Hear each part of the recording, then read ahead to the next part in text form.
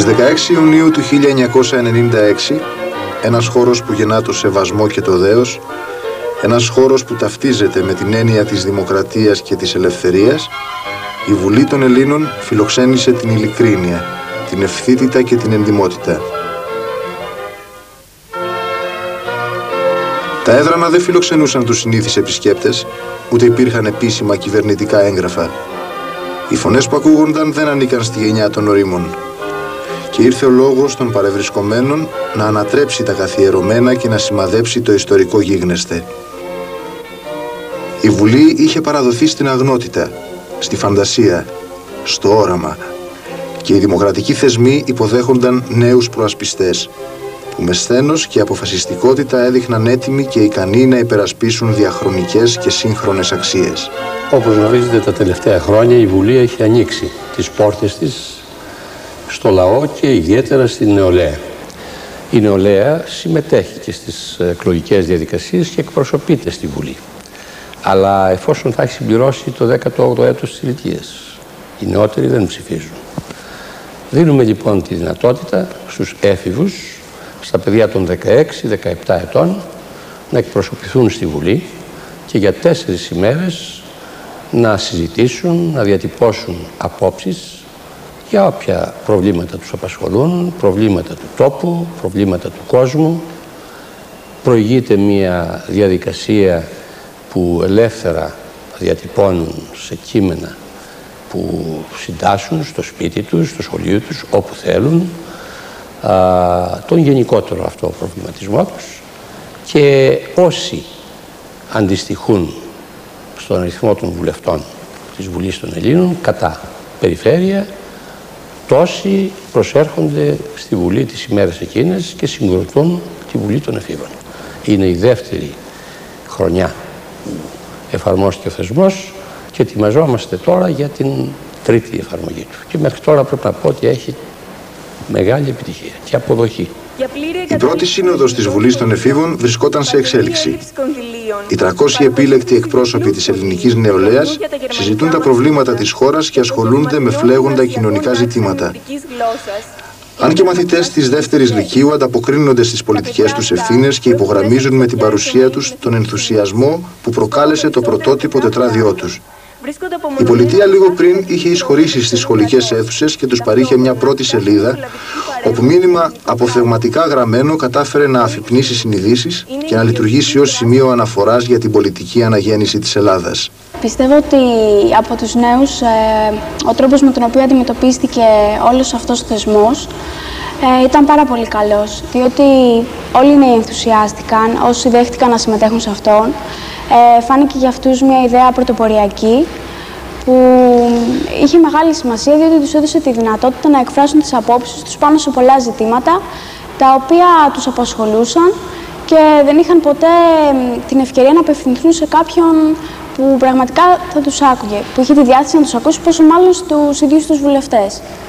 Πιστεύω ότι αυτός ο θεσμός βοήθησε πάρα πολύ και την νεολαία, αλλά και την ίδια την κοινωνία, διότι οι νέοι πρότειναν κάποιες ιδέες, οι οποίες ήταν ε, καινούργιες, πρωτοποριακές, από τη στιγμή που είναι η νέα γενιά και ως νέα γενιά βλέπει τα πράγματα με διαφορετικό μάτι, ίσως και κάπως καλύτερα και πιο σύγχρονα, αλλά και την κοινωνία, διότι εξάλλου είναι ένας θεσμός που ενισχύει την ίδια τη δημοκρατία. Οι νέοι ε, έχουν την ελευθερία σκέψης, άποψης, λόγου και το απέδειξαν αυτό.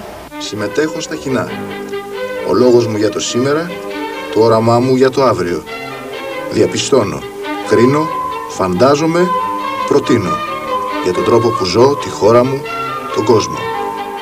Μιλώ για τις ανθρώπινες σχέσεις, το περιβάλλον, τη δημοκρατία, το σχολείο, την εργασία, τον ελεύθερο χρόνο, τα ατομικά δικαιώματα και τις κοινωνικές διακρίσεις. Μιλώ ακόμη για ό,τι απασχολεί το σημερινό κόσμο. Πιστεύω ότι πρέπει να συνεχιστεί αυτός ο θεσμός γιατί ε, έχει, έχουν τη δυνατότητα οι νέοι που θα συμμετάσχουν να γνωρίσουν και τον τρόπο που λειτουργεί ε, μια βουλή, που από αυτήν ε, πηγάζουν οι δημοκρατικές διαδικασίες ε, σε όλο το κράτος. Και εκτός των άλλων, είναι κάποιες εμπειρίες που προσφέρονται. Ε, μια, μια γνώση, ας πούμε, οι επισκέψει που κάναμε τόσο στο Μέγαρο της Μουσικής, όσο και κάποια άλλα εκπαιδευτικές επισκέψεις που κάναμε, ήταν πολύ χρήσιμες για μας και για να έχουμε μια εμπειρία για το τι συμβαίνει γύρω μας. Οι νέοι το είδαν, είδαν αυτό το θεσμό από δύο, από, από δύο στρατόπεδα και δημιουργήθηκαν αμέσως δύο διχασμένες απόψεις. Η μία, την οποία συμμερίζομαι και εγώ, γι' αυτό άλλωστε και συμμετείχα, ήταν ότι αυτός ο θεσμός είναι θετικός. Έχει να προσφέρει στους νέους και οι νέοι έχουν να προσφέρουν σε αυτόν βασικά. Και οι νέοι πρέπει με αυτόν τον τρόπο να δράξουν το όπλο που έχουν, δηλαδή να βγουν στα, στα κοινά, να πούν την άποψή τους ελεύθερα. Ωστόσο, υπάρχει και η αντίθετη άποψη, πάντα υπάρχει η αντίθετη άποψη, που έλεγε ότι ήταν απλά ένα δημιούργημα για να αποσπαστεί η προσοχή της κοινής γνώμης για αυτό το τετραήμερο που διαρκεί, η Βουλή των Εφήβων. Οι προτροπές της πολιτείας δεν άφησαν αδιάφορο το μαθητό κόσμο. 16.371 αγόρια και κορίτσια και ανάμεσά τους παιδιά ομογενών, προσφύγων και παλινοστούντων έσπευσαν να εκφράσουν τις απόψεις τους. Η πρόσκληση-πρόκληση βρήκε πρόσφορο έδαφος στις καρδιές των νέων και οι 300 έφηβοι έφτασαν στο χώρο του Κοινοβουλίου για να βελτιώσουν τα πολιτικοκοινωνικά δεδομένα και για να δηλώσουν πως κοντά στην κοινωνία των μεγάλων υπάρχει και η κοινωνία των μικρών που προβληματίζονται και που σε αυτήν θα στηριχθεί η ευημερία του έθνους. Η Βουλή των Εφήβων συνεδριάζει και η επιτυχημένη λειτουργία της μας παραπέμπει στον εμπνευστή του θεσμού. Ο πρόεδρος της Βουλής των Ελλήνων, κύριος Απόστολος Κακλαμάνης, ανέλαβε πρωτοβουλία και θεσμοθέτησε την παρουσία των νέων στη Βουλή. Εντάσσει τη δράση της Βουλής των Εφήβων στο εκπαιδευτικό πρόγραμμα της Βουλής των Ελλήνων, αναθέτοντας σε ειδική επιτροπή με πρόεδρο τον συγγραφέα κύριο Αντώνη Σαμαράκη την ευθύνη για την εύρυθμη λειτουργία της.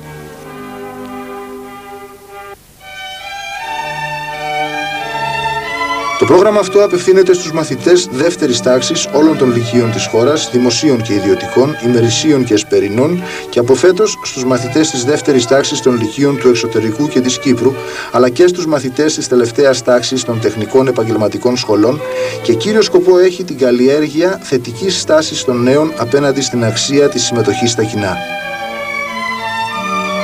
Η Ειδική Επιτροπή επιλέγει τις πιο ενδιαφέρουσες προτάσεις των μαθητών ώστε να καταλήξει στην επιλογή των εφήβων βουλευτών και στη σύνταξη τελικού κειμένου που πρόκειται να συζητηθεί κατά τη διάρκεια των συνεδριάσεων. Επίσης επιμελείται της έκδοσης ενός τόμου στον οποίο εμπεριέχονται όλα όσα κατά την υλοποίηση του προγράμματος πραγματοποιήθηκαν. Κύριο όμως έργο της είναι να ορίζει τα στάδια του όλου εγχειρήματος. Αρχικά δημοσιοποιείται το εκπαιδευτικό πρόγραμμα Βουλή των Εφήβων. Το περιεχόμενο και οι στόχοι του ώστε να προκληθεί η ευρύτερη δυνατή συμμετοχή και το ενδιαφέρον της κοινή γνώμης. Στη συνέχεια καλούνται οι αναλύκειο καθηγητές σύνδεσμοι να στηρίξουν τη συγκεκριμένη δραστηριότητα. Παροτρύνουν τα παιδιά, αφού συναισθανθούν ότι η πατρίδα και ο πλανήτης γη τους ανήκει, να αναπτύξουν σε γραπτό λόγο τις θέσεις τους για κάθε είδους κακό σχήμενα. Βοηθούν την ανάπτυξη της κριτικής σκέψης με την ανάγνωση κειμένων στήριξης και τη σφαιρική επί του θέματος ενημέρωση. Όταν ολοκληρωθεί η ενημέρωση, μετά την πάροδο τριών διδακτικών ωρών, οι μαθητές σημειώνουν τις προτάσεις τους σε τετράδιο που αποστέλλεται από τη Βουλή.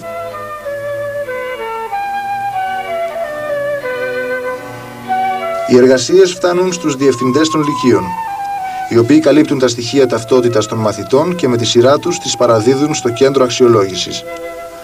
Οι μαθητές δεν λαμβάνουν μέρος σε εξετάσεις, τα κείμενά τους βαθμολογούνται με τη γνωστή κλίμακα, αλλά με τελείως διαφορετικά κριτήρια. Δεν αριστεύει το γραπτό με την καλύτερη ορθογραφία, στίξη και εμφάνιση.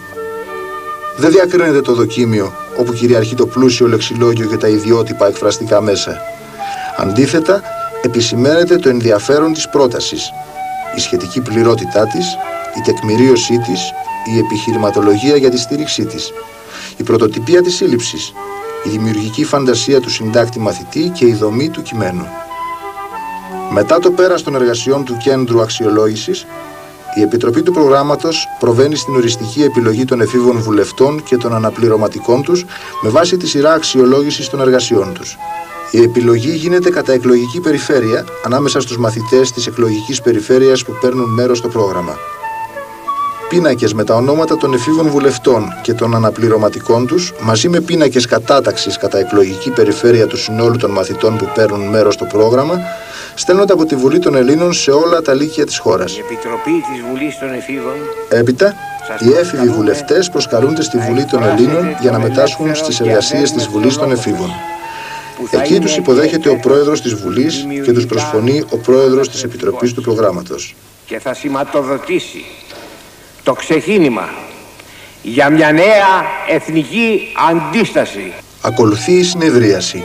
Οι επιτροπές, η ψηφοφορία, το ύφος του λόγου μας θυμίζουν αντίστοιχες συνεδριάσεις της πολιτικής μας ηγεσίας, μόνο που διακρίνουμε μια σημαντική διαφορά. Οι ομιλητές μακριά από χρώματα και τοποθετημένοι πάνω από μικροκομματισμούς και συμφέροντα, αγορεύουν με πάθος για την Ελλάδα και το μέλλον του κόσμου. Δεν στάθηκαν στο βήμα για να μιμηθούν τους έμπειρους πολιτικούς. Ήρθαν για να εναποθέσουν την ψυχή τους στον ιερό χώρο του Κοινοβουλίου και για να αποδείξουν πως είναι όριμοι, οξυδερκείς και μέτοχοι της πολιτικής αγωγής που παρέχει το ελληνικό εκπαιδευτικό σύστημα. Θα ήθελα να μιλήσω για την κρίση στα Βαλκάνια και συγκεκριμένα για το Σκοπιανό. Η συμμετοχή μας στα κοινά δεν ταυτίζεται με την κομματικοποίηση ή την προσέλευσή μας στις κάλπες. Ο υπεύθυνος πολίτης γνωρίζει το αληθινό νόημα της πολιτικής και ενδιαφέρεται για την πρόοδο του συνόλου όσο και για την ατομική του ευημερία. Οι νέοι δεν πρέπει να παραμερίζονται. Ο πολιτικός βίος τους αφορά, αφού σύντομα θα κληθούν να τον στηρίξουν. Μέχρι σήμερα οι μαθητικές εκλογές, τα 15 μελή και 5 μελή μαθητικά συμβούλια έδιναν στα παιδιά την ευκαιρία να λάβουν μέρος σε πολιτικές διαδικασίες, αλλά ο χώρος του σχολείου δεν έδινε τη δυνατότητα στους εφήβους να διατυπώσουν ελεύθερα τη γνώμη τους και δεν τους επέτρεπε πάντα να εκφράσουν το γενικότερο προβληματισμό τους. Τα παιδιά κατάλαβαν ότι μόνο με επιχειρήματα και όχι με φωνές μπορούν να επιβάλλουν τη γνώμη τους. Είδαν πολλά από αυτά που πρότειναν να υλοποιούνται και αυτό το χάρηκαν και αυτό είναι ένα θετικό. Είδαν πολλά από αυτά που πρότειναν να προτείνονται από τους βουλευτές των περιοχών τους και κατάλαβαν ότι μπορεί να γίνουν και αυτοί παράγοντες δημιουργικοί αυτού του τόπου. Είναι συγκινητικό ότι παιδιά από τον απόδημο ελληνισμό ήρθαν και είπαν προβλήματα που δεν τα γνωρίζουμε εδώ και τα υποστήριξαν με επιχειρήματα και με πόνο ψυχής μερικές φορές προκάλεσαν δάκρυα. Αυτά νομίζω ότι είναι μερικά θέματα που αξίζει να τονίζονται και αξίζει να τονίζεται ότι η συνείδηση του δημοκρατικού διαλόγου και μόνον αυτό είναι ένα θετικό αποτέλεσμα. Τα παιδιά έφυγαν πράγματι με την πεποίθηση ότι όσα μειονεκτήματα και να έχει ο δημοκρατικός λόγος είναι το καλύτερο πολίτευμα που μπορεί να μας δώσει. Η δημοκρατία με ελευθερία. Ο θεσμός της Βουλής των Εφήβων άνοιξε νέους ορίζοντες και μαρτυρά τη φιλότιμη προσπάθεια να γεφυρωθεί το χάσμα των γενεών και να αναγνωριστούν οι ικανότητες των νέων. Ταυτόχρονα, η δομή του προγράμματος και οι δεσμεύσεις του Προέδρου της Ειδικής Επιτροπής σφραγίζουν την εγκυρότητα κάθε πρωτοβουλίας. Η πολιτεία δεν θέλησε να εξαπατήσει τα νιάτα. Δεν μετέτρεψε τους εφήβους εφερέφωνα ιδεών που δεν τους ανήκουν, ούτε προτίθεται να κλείσει σε συρτάρια τα πρακτικά των συνεδριάσεων.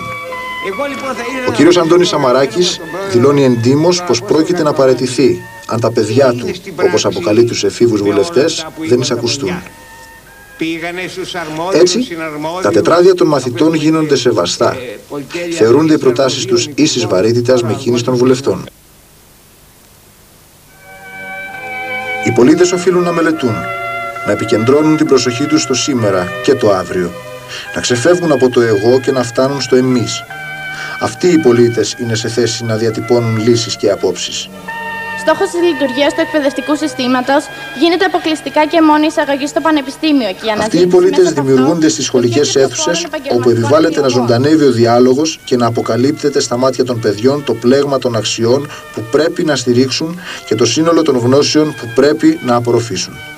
Στη συνέχεια το τετράδιό τους θα γεμίσει με τα σωστά λόγια και θα φτάσουν άξιοι αγορητές στη Βουλής στο βήμα να μπορείς να ορθώνεσαι και να τραντάζεις τις αλυσίδες. Στις 16 Ιουνίου του 1996 σημειώθηκε ένα ιστορικό και πολιτιστικό γεγονός. Η ελληνική νεολαία υπογράμμισε το σφρίγος της κερδίζοντας την εμπιστοσύνη του λαού μας. Η Βουλή των Εφήβων πρόκειται να συγκληθεί και σε άλλες συνόδους, στις οποίες θα συμμετέχουν 350 νέοι. Ελπίζουμε και τότε οι νέοι να μεταφέρουν ανάλογα μηνύματα και να ισχυροποιήσουν το θεσμό που επιβεβαιώνει την άποψη ότι η Ελλάδα είναι γενέτειρα της δημοκρατίας.